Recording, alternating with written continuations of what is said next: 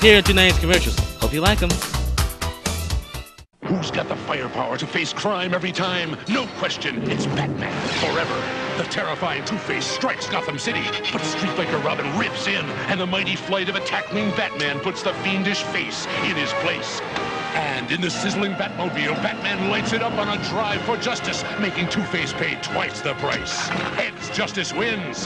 Tails, evil loses. No question, it's Batman forever. Figures and vehicles each sold separately, batteries not included.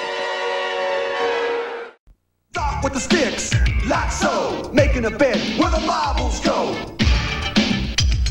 You don't want those marbles, not at all. So pick a stick, but don't let them fall. Cause if it goes kerplunk, you're sunk. Kerplunk from Tyco.